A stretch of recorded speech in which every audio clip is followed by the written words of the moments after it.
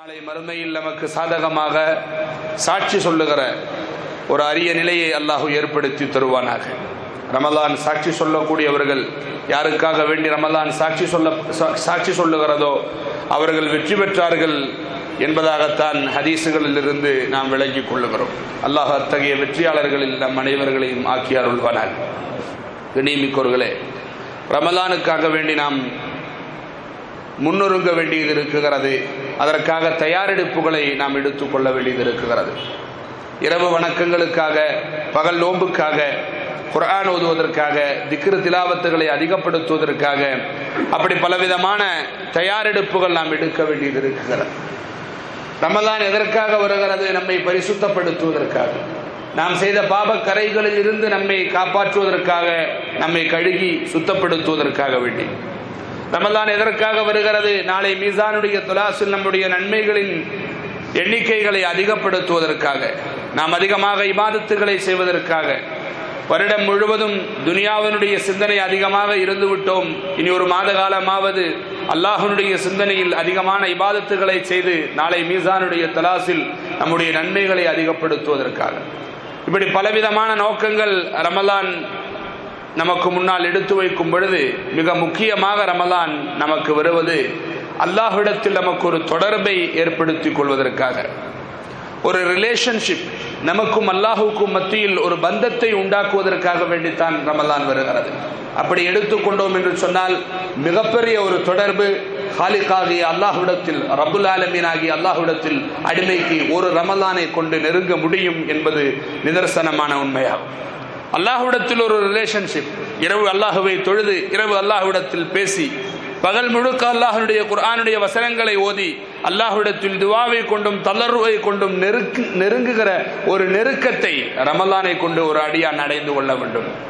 அப்புறம் அல்லாஹுவிடத்தில் நமக்கு ஒரு ரிலேஷன்ஷிப்பை உண்டாக்குவதற்காக ஒரு நெருங்கிய தொடர்பை ஏற்கனவே தொடர்பு இருப்பவர்கள் அது நெருக்கமாக்குவதற்கும் சுத்தமாக தொடர்பில்லாதவர்கள் ஒரு தொடர்பை உண்டாக்குவதற்காக வேண்டியும் தான் ரமலான் வருகிறது. அல்லாஹ்விடத்தில் நம்முடைய தொடர்பை உண்டாக்குவதற்கு முன்னால் சில தகுதிகள் நமக்கு உண்டா இருக்க வேண்டும்.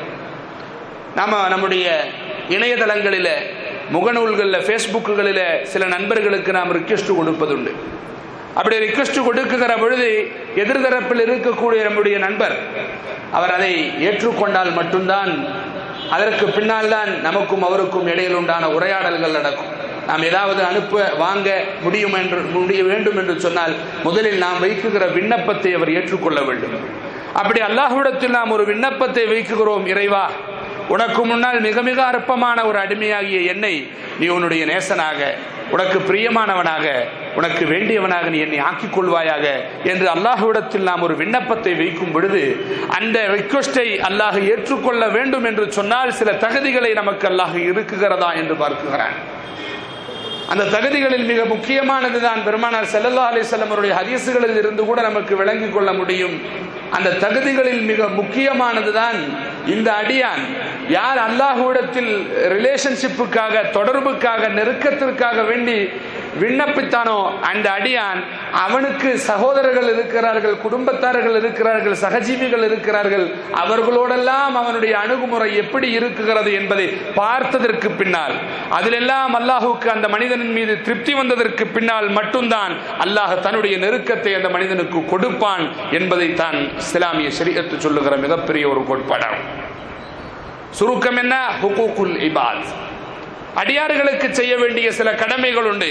அந்த கடமைகளில் வீழ்ச்சை வருத்தியவன் இரவு முழுவதும் அல்லாஹுக்காக வேண்டி சுஜூதில் கிடந்தாலும் பகல் முழுவதும் பசி பட்டினியோடு இருந்தாலும் அல்லாஹ் அவனுடைய அந்த சுஜூதுகளையும் பசி பட்டினிகளையும் ஏற்றுக்கொள்ள மாட்டான் என்பதை தான் சுருக்கமாக நாம் விளங்கிக் கொள்ள வேண்டும். அப்ப ரமலானில் அதிகமாக அல்லாஹ்விடத்தில் நெருங்க ஆசைப்படுகிற நாம் அதற்கு முன்னுருக்கமாக மிக முக்கியமாக செய்ய வேண்டியது நம்மோடு தொடர்பு இருக்குகிற யாருக்காவது அக்கிரமங்கள் செய்து யாருடைய பொருளாதாரத்தில் இருந்தாவது அக்கிரமமாக நம் கைவசம் இருந்தால் அதை கொடுத்து விட்டி யாருக்காவது நாம் அநியாயமாக அவரை பற்றி தவறாக பேசி இருந்தால் அவரிடத்தில் மன்னிப்பு கேட்டு செய்ய வேண்டிய கடமைகள் அது சொந்த பந்தங்களுக்காக இருந்தாலும் பக்கத்து வீட்டுக்காரனுக்காக இருந்தாலும் தாய் தந்தைகளுக்காக இருந்தாலும் அதில் தவறிடைத்திருந்தால் அந்த உரிமைகளை சரியாக கொடுக்கப்படாமல் இருந்திருந்தால் அதை சீர் செய்வதற்கு ஒரு வாய்ப்பு அல்லாஹ் நமக்கு ஏற்படுத்தி தந்திருக்கிறான். ரமலானுக்கு முன்னால் அதை சீர் செய்து விட்டு அல்லாஹுக்கு முன்னால் மண்டியிட்டோம் என்று சொன்னால் மிகப்பெரிய நெருக்கத்தை ரபுல் ஆலமீன் நமக்குள் ஏற்படுத்தி கொடுப்பான். முதன்மையாக நாம் செய்ய வேண்டியது நமக்குள் இருக்குகிற தொடர்புகளை சீர் செய்ய வேண்டும். அப்படி சீர் செய்யாமல் அல்லாஹுக்கு முன்னால் நாம் இடுகிற மண்டிகள் நாம் செய்கிற சுஜூதுகள் அல்லாஹ் ஏற்றுக்கொள்ள மாட்டான். பெருமானார் செல்லல்லா அலி சொல்லம் அவர்கள் தெளிவாக சொல்வார்கள் மன் லம் யஷ்குரு நாசா லா யஷ்குருல்லாஹ் அவுகமா கால அலைஹி ஸலாத்து வஸலாம். மனிதர்களின் கடமைகளை சரி செய்யாதவன் அல்லாஹுவின் கடமைக்காக வரும் பொழுது அந்த கடமை அல்லாஹ் ஏற்றுக்கொள்ள மாட்டான். கால ரசூலுல்லாஹி ஸல்லல்லாஹு அலஹி வசல்லம் ஏனைய மனிதர்களுக்கு நன்றி செய்யாதவனுடைய நன்றியை அல்லாஹ் ஏற்றுக்கொள்ள மாட்டான் என்று பெருமானார் செல்லல்லாஹு அலஹி வசல்லம் செய்ய வேண்டிய கடமைகள் உண்டு. மக்கள் பெற்றோர்களுக்கு செய்ய வேண்டியது சகோதரர்களுக்கு செய்ய வேண்டியது பக்கத்து வீட்டுக்காரனுக்கு செய்ய வேண்டியது ஒரு முஸ்லிம் என்ற அடிப்படையில் ஒவ்வொரு மஹல்லாவாசியும் பரஸ்பரம் செய்ய வேண்டிய கடமைகள் அந்த கடமைகள் உதாசீனப்படுத்தி அந்த கடமைகளில் பொடுபோக்காக இருந்து அதில் வீழ்ச்சியை வருத்தி கொண்டு நீங்கள் அல்லாஹுக்கு நன்றி செலுத்துகிறேன் என்று நீங்கள் பள்ளியில் கிடந்தால் அந்த நன்றியை அந்த கட்டுப்பாடை அல்லாஹ் ஏற்றுக்கொள்ள மாட்டான். கால ரசூலுல்லாஹி சொல்லல்லாஹு அலைஹி வசல்லம் சுருக்கமாக சொல்ல வேண்டும் என்றால் பெருமானார் செல்லல்லா அலிசல்லம் அவர்களும் சஹாபாக்களும் மஸ்ஜிது நபவியின் முற்றத்தில் அமர்ந்து இருக்கிற பொழுது ஜனாசா ஒன்று சென்றதாம் மர்ரபி ஜனாசத்தின் செய்கான ஹதீசுகளில் வருகிறது. ஒரு மையத்தொன்று சென்றது. மக்கள் எடுத்துக்கொண்டு வந்தார்கள். அந்த மையத்து செல்லும் பொழுது அல்லது மரண செய்தி வந்த பொழுது நாயகத்திற்கு சுற்றிலும் இருக்குகிற சஹாபாக்கள் சொன்னார்கள் அசினா அலைஹி ஹைரா ஹதீசுகளில் வருகிறது. இந்த சஹாபாக்கள் எல்லாம் அந்த மனிதன் நல்லவன் என்று சொன்னார்கள் அந்த மனிதன் எவ்வளவு நல்லவன் எவ்வளவு உபகாரி யாருக்கும் தீங்களிக்க மாட்டான் யாரை பற்றியும் குற்றம் சொல்ல மாட்டான் புறம் பேச மாட்டான் யாருக்கும் அநீதி அளிக்க மாட்டான். சுத்தமான கை சுத்தமான வார்த்தை சுத்தமான மனசு அந்த மனிதனுக்கு உண்டு என்று சொல்லி அஸ்னா அலேஹி ஹைரா அந்த மனிதன் மீது நன்மையை சஹாபாக்கள் புகழ்ந்து சொன்ன பொழுது எல்லாவற்றையும் கேட்ட எம்பெருமானார் செல்லல்லாஹ் அலி சொல்லம் அவர்கள் வஜபத் வஜபத் வஜபத் மூன்று முறை சொன்னார்களாம் வஜபத் என்றால் கட்டாயமாகிவிட்டது என்ற அர்த்தம். கட்டாயமாகிவிட்டது கட்டாயமாகிவிட்டது கட்டாயமாகிவிட்டது. விஷயத்தை சொன்னார்கள் எது கட்டாயமாகிவிட்டது அதை சொல்லவில்லை. கொஞ்ச நேரம் கழித்து இன்னொரு ஜனாசா வந்தது. ஒரு மகாபாவியின் ஜனாசா. அந்த ஜனாசா கடந்த உடனே சஹாபாக்கள் சொன்னார்கள் அஸ்னா அலிஹி ஷர்ரா. ஹதீசுகளில் வார்த்தை வருகிறது. சஹாபாக்கள் எல்லாம் சொன்னார்கள் தொலைந்தான். நல்ல வேலை மௌத்தாயிட்டான். நல்ல வேலை போயிட்டான். இவனால் உண்டான தீங்குகள் இருக்குகிறதே ஒருவருக்கு இருவர்களுக்கு இடையில் பிரச்சனையை மூட்டுவான் பொய்களை சொல்லுவான் புறம் சொல்லுவான் குற்றம் சொல்லி திரிவான். மக்களின் கடமைகளை நிறைவேற்ற மாட்டான். அவனை பற்றி சஹாபாக்கள் சொல்லாதது இல்லை அப்படி சொன்னார்கள். அசனா அலேஹி ஷர்ரா அதை கேட்டுவிட்ட எம்பெருமானார் செல்லல்லா அலிசல்லாம் அவர்களின் பதில் முந்திய அதே பதிலாக இருந்தது. வஜபத் வஜபத் வஜபத். நிர்பந்தமாகிவிட்டது கட்டாயமாகிவிட்டது வாஜிபாகிவிட்டது என்று சொன்ன பொழுது இரண்டையும் கேட்டுக்கொண்டிருந்த சஹாபாக்கள் கேட்டார்கள் யார சூழல்லா ஒரு ஜனாசா ஒன்று வந்தது. நாங்கெல்லாம் அதனுடைய உண்மை நிலவரத்தை சொன்னோம். உண்மையில் அவர் நல்ல மனிதன். அவன் இழப்பு எங்களுக்கு மிகப்பெரிய கஷ்டத்தை தருகிறது. அவனை பற்றி புகழ்ந்து சொன்னோம். அப்பொழுது தாங்கள் வஜபத்து நிர்பந்தமாகி விட்டது என்று சொன்னீர்கள்.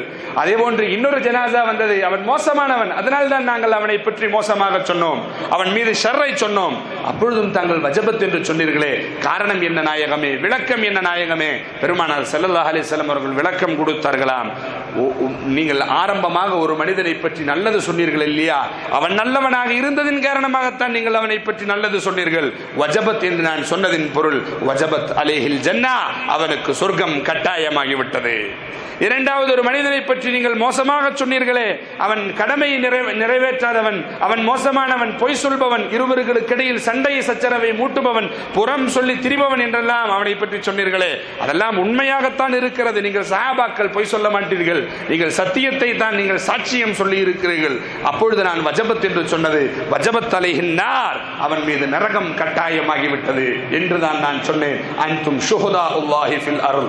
நீங்கள் தான் பூமியில் அல்லாஹனுடைய சர்டிபிகேட்டுகள் அல்லாஹனுடைய சாட்சியாளர்கள். நீங்கள் ஆகுவீர்கள். நீங்கள் ஒட்டுமொத்தமாக சேர்ந்து ஒரு மனிதன் நல்லவன் என்று சொன்னால் அவன் அல்லாஹுடத்தில் நல்லவனாக கருதப்படுகிறான். ஒருவனை நீங்கள் கெட்டவன் என்று சொல்லுகிற பொழுது ஒரு பெரும் கூட்டம். ஒரு மனிதனை மோசமானவன் என்று சொல்லுகிற பொழுது அவன் அல்லாஹுடத்தில் மோசமானவன் தான் என்று எம்பெருமானார் செல்லல்லாஹு அலைஹி செல்லம் அவர்கள் சொல்லும் பொழுது கௌரவமாக நாம் சிந்திக்க கடமைப்பட்டிருக்கிறோம் கண்ணியமிக்கவர்களே என்னிடத்தில் எல்லா விதமான சுக சௌகரியங்களும் உண்டு என்பதற்காக வேண்டி என் சொந்த பந்தங்களை நான் உதாசீனப்படுத்தும் பொழுது மக்கள் அதை காண்பார்கள்.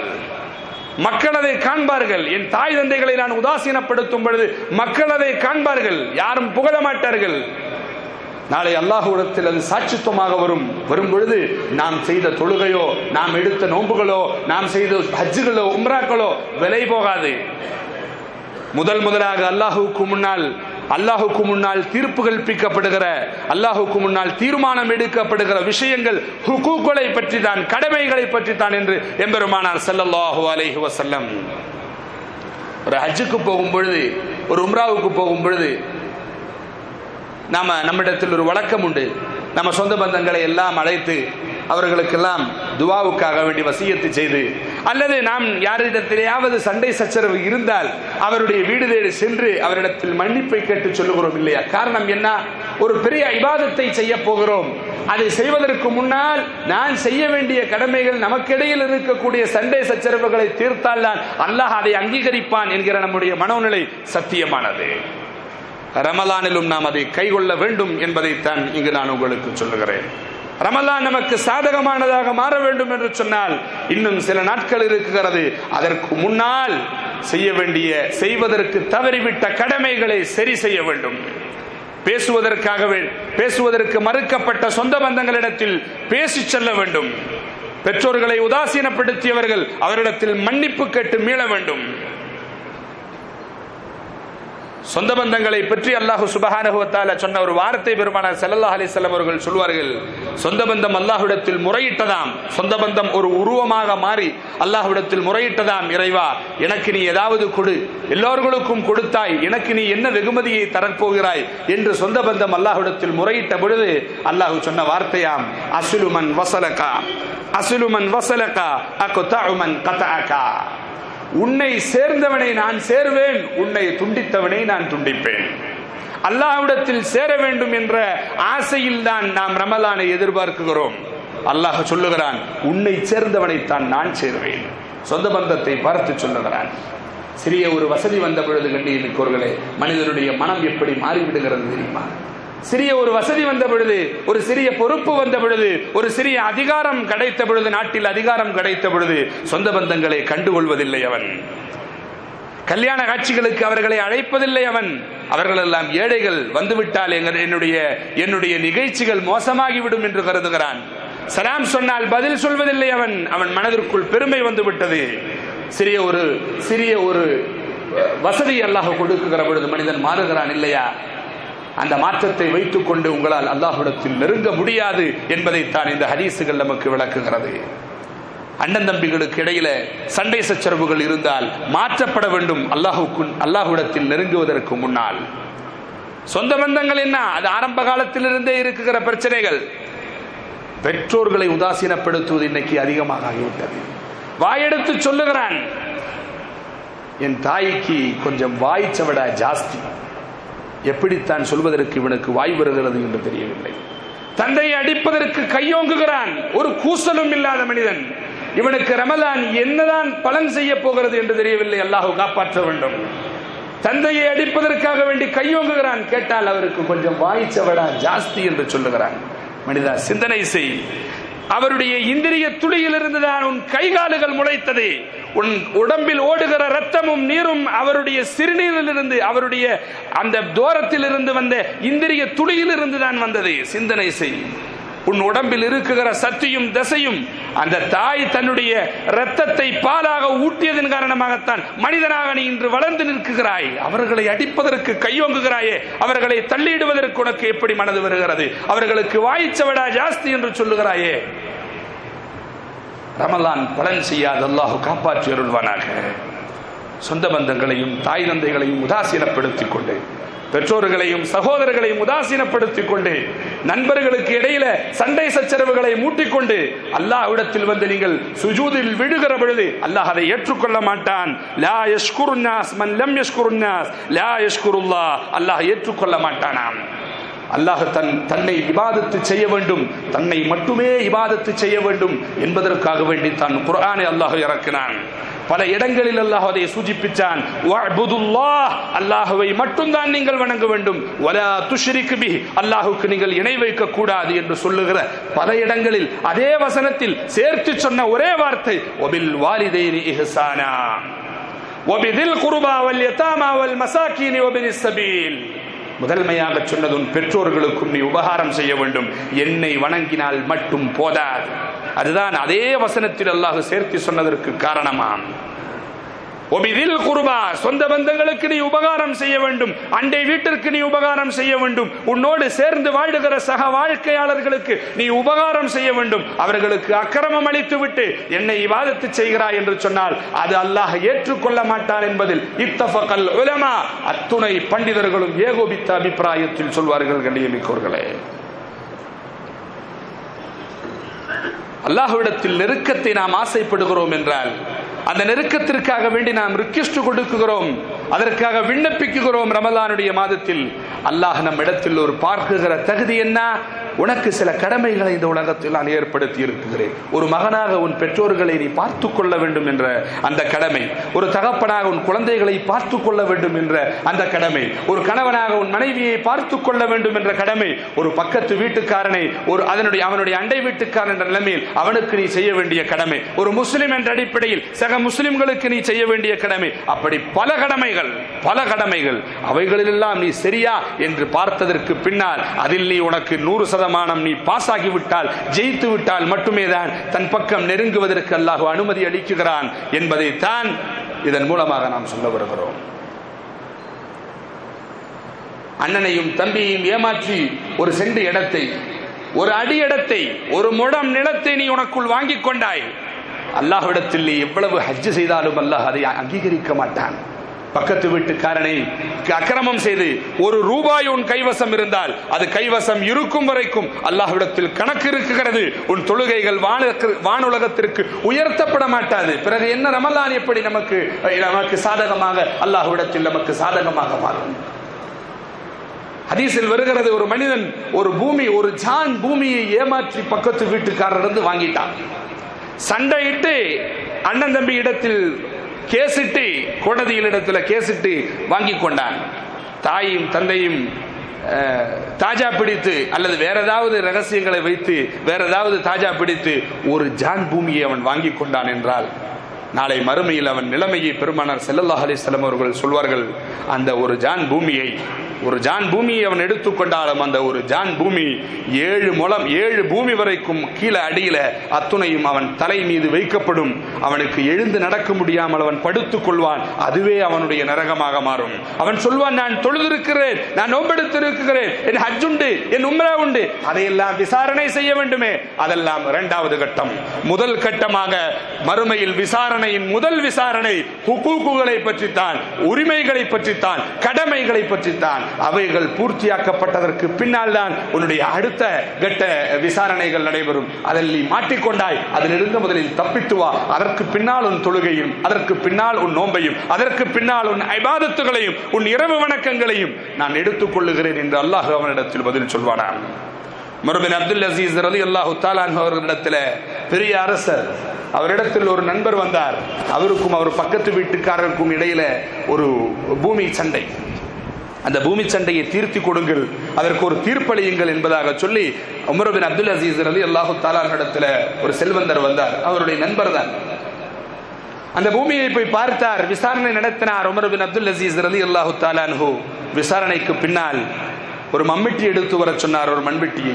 அந்த கைக்கோட்டை வைத்துக் கொண்டு இந்த நண்பரிடத்தில் சொன்னார் இதிலிருந்து இந்த பூமியிலிருந்து ஒரு பெரிய சாக்கு மண்ணை நீ அள்ளி வெட்டி எடுத்து ஒரு பெரு பெரிய சாக்காகி விட்டதை ஒரு மனிதனால் தூக்க முடியாத அளவிற்கு ஒரு பெரிய மூட்டை இதை தூக்கி என் வீடு வரைக்கும் வா நான் தீர்ப்பு சொல்லுகிறேன் என்று சொன்னார். இந்த நண்பர் சொன்னார் உமர் அவர்களே இதை தூக்குவதற்கு ஒரு மனிதனால் முடியாது. ஒரு சாக்கு மண் இது பெரிய சாக்கு இது இதை ஒரு மனிதனால் தூக்க முடியாது. இதை தூக்கி வந்ததற்கு பின்னால் நீ தீர்ப்பு சொல்வதற்கு என்ன அர்த்தம் உண்டு?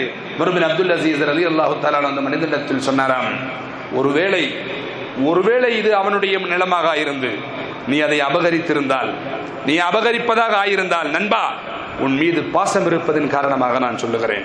இதனுடைய ஏழு பூமி வரைக்கும் நாளை உன் தலையில் ஏற்றி வைக்கப்படும். இதிலிருந்து ஒரு சாக்கு சிமி ஒரு சாக்கு மண்ணை உன்னால் அள்ள முடியவில்லை என்றால் ஒரு சாக்கு மண்ணை எடுத்து உன் தலையில் உன்னால் வைக்க வைத்து நடக்க முடியவில்லை என்று சொன்னால் நாளை இதற்கடியில் ஏழு பூமியையும் உன் தலையில் வைத்தால் நீ எப்படி நடப்பாய் நண்பா என்று சொன்ன பொழுது எனக்கு அந்த பூமி வேண்டாம் எனக்கு அந்த பூமி வேண்டாம் எனக்கு அந்த பூமி வேண்டாம் அல்லாஹு போதுமானவன் என்று சொல்லி அந்த நண்பன் ஓடினானாம். சரித்திரம் சொல்லுகிறான் இதையெல்லாம் சிந்தனை செய்து பார்த்தால் யாரை ஏமாற்றுவதற்கு நமக்கு மனது வரும் கண்ணியமிக்கோர்களே ஏமாற்றியவைகள் எல்லாம் திருப்பி கொடுக்கப்பட வேண்டும். பேசியவைகளுக்கெல்லாம் மன்னிப்பு கேட்க வேண்டும். இனி பேச மாட்டோம் என்று சொல்லி பொருத்தத்தை வாங்க வேண்டும். பெற்றோர்களின் காலடியில் சென்று செய்ததற்கெல்லாம் மன்னிப்பு செய்ததற்கெல்லாம் மாப்பு மன்னிப்பு என்று சொல்லி அழுது அவர்களிடத்தில் பொருத்தத்தை வாங்காமல் ரமலானை நீங்கள் முன்னோக்கியதில் எந்த பலனும் உண்டாகாது. சொந்த பந்தங்களை உதாசீனப்படுத்தியதற்கு அல்லாஹ் கொஞ்சம் வசதியை தந்தான் என்பதற்காக வேண்டி சொந்த பந்தங்களை உதாசீனப்படுத்தியதற்காக முதலாளி தொழிலாளியை திட்டுவதிலும் கூட நியாயத்தை கற்பித்தார்கள் பெருமானார் செல்லல்லாஹு அலஹி வசல்லம் ஒரு சஹாபி வந்து சொன்னார் அழகான சஹாபி நல்ல சஹாபி நல்ல இபாதத்தை செய்கிற சஹாபி பெருமானார் ஸல்லல்லாஹு அலி செல்லமிடத்தில் வந்து சொன்னார் யார் சூழல்லா எனக்கு ஒரு பணியாளர் இருக்கிறார் ஒரு அடிமை இருக்கிறார் என் கடையில் வேலை செய்வான் நல்ல வேலையாளன். ஆனால் கொஞ்சம் திருட்டு சுபாவம் இருக்கிறது இடக்கிடைக்கு மக்காறு பண்ணுவான் நஷ்டம் ஏற்படும். பல முறை நான் பொறுத்துக் கொள்வேன் சில முறை பொறுக்க முடியாத சூழ்நிலை வரும் பொழுது அவனை ரெண்டு அடி அடிப்பேன் நாயகமே. அது எப்படி எனக்கு நியாயமா என்று கேட்ட பொழுது பெருமானார் செல்லல்லா அலிஸ்லாம் அவர்கள் சொன்னார்கள் அவன் செய்த தவறையும் நீ அடித்த அடியையும் நாளை மீசானுடைய தலாசில் வைக்கப்படும் என் சகோதரரே. அல்லாஹுக்கு முன்னால் அது மீசானுடைய தலாசில் வைக்கப்படும். நீ அடித்த அடி ஒரு மில்லி கிலோ அதிகமாக ஆயிருந்தால் நீ மாட்டிக்கொள்வாய் அல்லாஹ்விடத்தில். உன் இபாதத்துகளும் நம் சுகபத்தும் கூட உனக்கு அன்று பலனளிக்காது என்று அந்த சஹாபியிடத்தில் பெருமானார் செல்லல்லாஹு அலைவசல்லம் சகஜீவிகளுக்கு ஒரு ஒரு ஒரு கடுகு மணி அளவு கூட அக்கிரமம் செய்யக்கூடாது. அது ஒரு வார்த்தைகளில் இருந்தாலும் சரி ஒரு ரூபாய் நோட்டிலாக இருந்தாலும் சரி கொஞ்சம் இடத்திலாக இருந்தாலும் சரி ஒரு பொருளிலாக இருந்தாலும் சரி. ஒரு ஜனாசா ஒன்று வந்தது ரசூலுல்லாஹி சல்லா அலி சொல்லும் இடத்துல நாயகம் ஸல்லல்லாஹு அலைஹி அவர்கள் சொன்னார்கள் இந்த ஜனாசாவுக்கு கடன் உண்டா? சஹாபாக்கள் சொன்னார்கள் கடன் உண்டு. கடன் அடைக்காமல் மரணித்து விட்டு இருக்கிறார் அந்த அந்த அந்த சஹாபி அந்த ஜனாசா. நாயகம் சொன்னார்கள் அதை கடன் அடைப்பதற்கு யாராவது தயார் உண்டா? சொந்த பந்தங்கள் எழுந்து சொன்னது நாங்கள் தயார். எங்களுடைய அந்த மனிதனின் ம- ஜ- கடனை அடைப்பதற்கு நாங்கள் தயார். நாயகம் தொழு வைத்தார்கள். கொஞ்ச நேரம் முடித்து இன்னொரு ஜனாசா வந்தது. கடன் உண்டா? கடன் உண்டு நாயகமே. நாயகம் சஹாபாக்களை பார்த்து கேட்டார்கள். அந்த கடனாளிகளுக்கு என்ன பதில் சொல்வது? யார் அதை பொறுப்பேற்றுக் கொள்வது யார்? ஒரு மனிதனும் எந்திரிக்கவில்லை. நாயகம் கேட்டார்கள் யாரும் இல்லையா பொறுப்பேற்பதற்கு? யாரும் இல்லை. ரசூலுல்லாஹி சல்லா அலி வஸல்லமுடைய பதில் சொல்லுவலா சாஹிபிக்கும். இந்த மனிதனுக்கு நான் துளவிக்க வேண்டிய அவசியம் இல்லை. அதிர்ந்து போனார்கள் சஹாபாக்கள். என் உம்மத்திலிருந்து ஒரு ஆள் கூட நரகத்திற்கு செல்லக்கூடாது என்று ராப்பகலாக பாடுபடுகிற பெருமானார் ஸல்லல்லாஹு அலைஹி செல்லம் சொல்லுகிற வார்த்தையா இது? இந்த மனிதனுக்கு நான் தொழு வைப்பதற்கில்லை. நீங்கள் வேண்டுமென்றால் தொழு வைத்துக் கொள்ளுங்கள் என்று சொல்லி பெருமானார் செல்லல்லா அலைஹி அவர்கள் சென்று விட்டார்கள். காரணம் நான் சொல்லுவைப்பது இவன் சொர்க்கவாசியாக ஆகுவதற்காக வேண்டி. இவன் அல்லாஹுக்கு முன்னால் தப்பித்துக் கொள்வதற்காக வேண்டி. இவனுக்கு இவன் இவனோடு வாழ்ந்த இவனை நம்பிய சிலர்களுக்கு இவன் செய்த இந்த துரோகம். மரணிக்குகிற பொழுது அதை நிறைவேற்றுவதற்கு ஒரு மனிதனை கூட உங்களில் அவன் விட்டு வைக்காமல் சென்று விட்டான் இல்லையா? அந்த துரோகத்தை அதில் நான் பரிந்துரை செய்தும் எந்த பலனும் கிடையாது என்று ரசூலுல்லாஹி ஸல்லல்லாஹு அலஹி வசல்லம் கண்ணியமிக்கோர்களே ரமலான் நம்மை முன்னோக்கி வரும் பொழுது அதற்காக நாம் ஆயத்தமாகும் பொழுது முதல் ஆயத்தமாக இதைத்தான் நாம் செய்ய வேண்டும். நம்மோடு இருக்குகிற சொந்த பந்தங்களை நம்மோடு இருக்குகிற உறவுகளை புதுப்பித்துக் கொள்ள வேண்டும். அல்லாஹுக்காக வேண்டி அவன் செய்த அக்கிரமங்கள் இருக்குகிறதே அதை எப்படி நான் பொறுத்துக் கொள்ள முடியும்? அவன் எனக்கு செய்த அநியாயங்கள் அக்கிரமங்கள் அதை நான் எப்படி மன்னிப்பது? நான் ஒரு மனிதன் தானே என்ற ஒரு விகாரங்கள் நம் மனதுகளில் இருக்கலாம். நன்றாக கேட்டுக்கொள்ளுங்கள். அந்த விகாரங்கள் இருக்கட்டும் வேண்டாம் என்று சொல்லலை. நாளை அல்லாஹுடைய கொடதியில நாம் அதை எடுத்து வைப்போம். அதற்காக அக்கிரமம் செய்யக்கூடாது. அக்கிரமம் செய்வதா அது எப்படி? ஒரு மனிதனை பார்க்கும் பொழுது ஒரு முஸ்லிம் இன்னொரு முஸ்லிமை பார்க்கும் பொழுது சிரிக்க வேண்டும். முகமலர்ச்சியோடு பார்க்க வேண்டும். நேரிட்டு விட்டால் அஸ்ஸலாம் அலைக்கும் என்று சலாம் சொல்ல வேண்டும். அது ஒரு மனிதன் இன்னொரு மனிதனுக்கு செய்ய வேண்டிய நியாயமான காரியம். ஒரு முஸ்லிம் ஒரு முஸ்லிமுக்கு செய்ய வேண்டிய நியாயம். அதை நீங்கள் தவறுவிடாதீர்கள். அவர் மீது இருக்கிற கோபத்தின் காரணமாக அதை தவறுவிடாதீர்கள். ஆறு விஷயங்களை பெருமானார் செல்லல்லா அலிசல்லம் அவர்கள் எண்ணி சொன்னார்கள். அதில் முதன்மையானது அதுதான். பார்க்குகிற பொழுது சிரிப்பு. பார்க்குகிற பொழுது சலாம். அதை கூட சொல்லாமல் நீங்கள் முகம் திருப்பினீர்கள் என்று சொன்னால் அல்லாஹுக்கு முன்னால் அக்கிரமியாக எழுப்பப்படுவீர்கள். அல்லாஹு காப்பாற்றி அருள்வானாக. அந்த அந்த அந்த கோபங்களும் அந்த அந்த ஏமாற்றங்களும் எல்லாம் மனதுகளில் இருக்கட்டும். நாளை அல்லாஹுக்குடைய கோடதியில் நாம் எடுத்து வைப்போம். அல்லாஹ் நமக்கு நியாயத்தை தருவான். இன்ஷா அல்லாஹ். ரமலான் முன் வருகிறது ரமலானுடைய ஆயத்தமாக அதனுடைய முன்னொருக்கமாக இதைத்தான் நாம் ஆரம்பமாக செய்ய வேண்டும். அல்லாஹ் அத்தகைய நல்ல முக்மின்களாக நம்மை ஆக்கி ரமலானை முழுக்க முழுக்க பயன்படுத்தி ரமலான் முடிவடையும் பொழுது அல்லாஹுவோடு நெருங்கிய ஒரு தொடர்பு. எந்த ஒரு விஷயத்திலும் இறைவிடத்தில் நாம் விட்டால் உடனே நமக்கு கிடைக்கிற ஒரு நெருங்கிய தொடர்பை அல்லாஹ்விடத்தில் நாம் ஆக்கிக் கொள்ள வேண்டும். அத்தகைய ஒரு சூழ்நிலை வருகிற ரமலான் நமக்கு அனுகூலமாக ஆக்கி தரட்டும். ஆமீன். யா ரப்பல் ஆலமீன். அனில் அஹமதுல்லாஹ் ரப்பில் ஆலமீன். அஸ்ஸலாமு